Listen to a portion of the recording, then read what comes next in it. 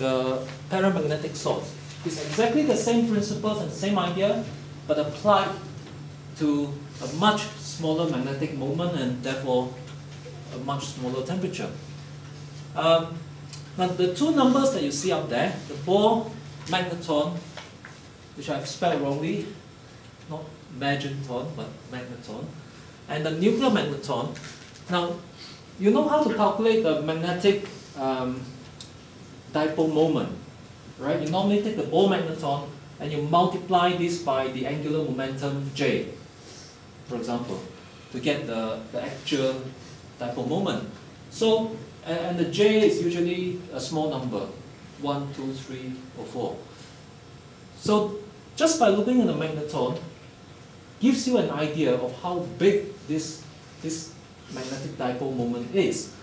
And we can get a quick comparison of the electron and the nuclear magnetic moment by comparing the two magnetons. And you can see for the Bohr magneton is 10 to the power minus 24, nuclear magneton 10 to the minus 27.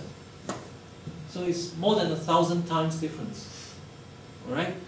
And if our reasonings about the um, about the interaction field is, is correct,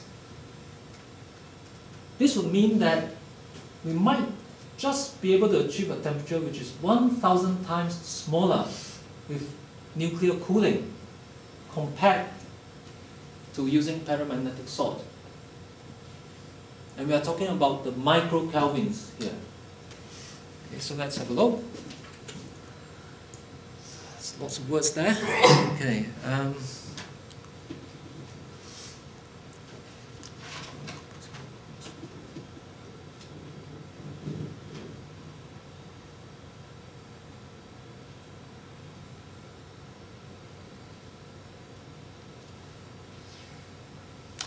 Okay, um, this is just to point out some of the issues when you switch to nuclear cooling.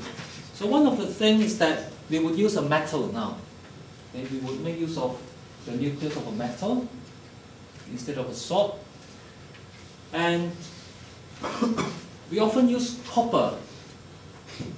So you would have a big block of copper for this refrigerator. That would be your refrigerant.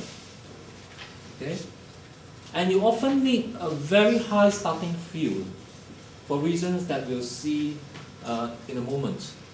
And we are talking about fields that are typically a few Tesla, maybe 8 or 9 Tesla or more. Now, such field is extremely strong fields.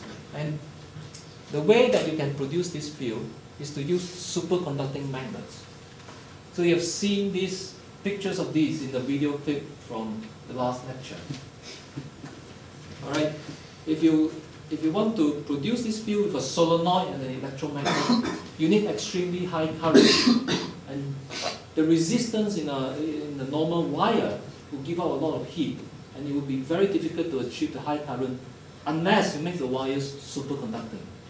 So that's where superconducting magnet comes in. You need very high field to do the magnetization and demagnetization. And even then, it turns out that you can't, you still can't reduce the entropy by very much. Okay, we'll look at this, the, the physical reasons for this.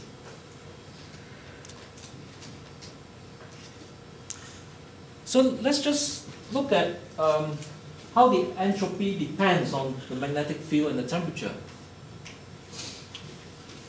Sketch the graph here.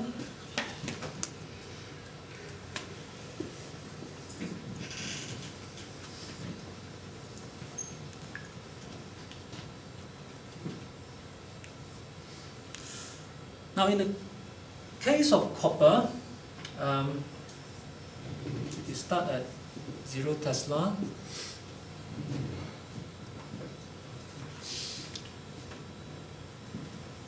it turns out that um, if you apply a field of 8 Tesla, the entropy curve, it might look like this.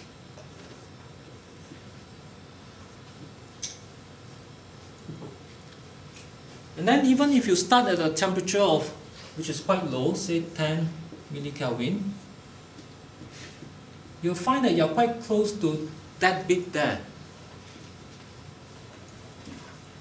Okay, simply because the corresponding temperatures here at the zero Kelvin curve is that much smaller, is in the micro Kelvin range.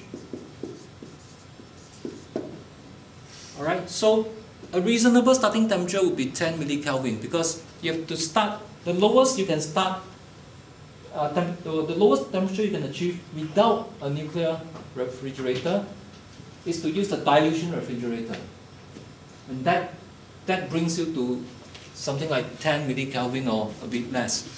But even if you start there, in the case of copper, you'll find that when you use a, uh, an extremely strong field of say 8 Tesla, you can only bring down the entropy by a little bit because you are there. Okay, are very near the top. Now you can also see now that the formula uh, that I derived just now for the entropy, the 1 over T squared high temperature formula, you can also see why it might come in handy. Because we are, we are working in that regime. In the case of nuclear refrigeration. Okay, so the approximate formula for entropy would be useful here. Okay, so that's what uh, these two slides are about. And in order, and just lowering this entropy by a little bit is, is not good enough because uh, because this very small decrease here also means that the decrease in temperature might not be so much. Now let's take a look at the physical, uh, what happens physically to the entropy and the, and, and the energy levels when we go to such very small magnetic moments. Okay. In this picture, what you see here is a sketch of the energy levels. Now, if the magnetic moments are very small, that also means that the energy levels are very close together. Okay, so for a given temperature, you'll find that because these levels are very close, you tend to have more particles in the higher levels for the same temperature, okay, according to Boltzmann factor. All right, if epsilon is, if the energy is small, the Boltzmann factor is actually bigger. Okay, so if you have more particles in the higher level, that also means higher entropy. Because entropy is about the number of ways you can arrange these atoms, right? You have, you have that formula, simple formula for entropy. So if you have more particles at the higher level, there are more ways you can arrange the particles among the energy levels. So you would have a higher entropy.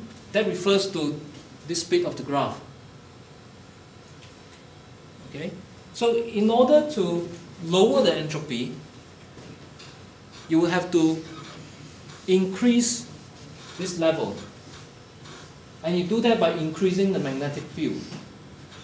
Because if you increase the magnetic field,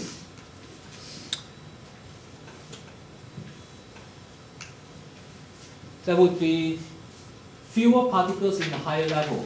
So as a result, the entropy will drop. But this is difficult simply because the, the energy levels are so close to start with. Compared with the paramagnetic salt, the energy levels are closer by more than 1,000 times. This is very close. So you cannot expect to increase the energy level by 1,000 times by using 1,000 Tesla because such fields don't exist.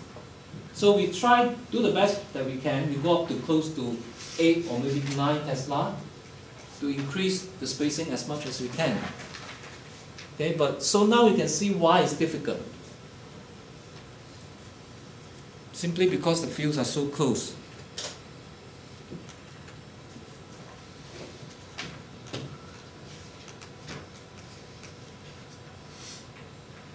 Okay.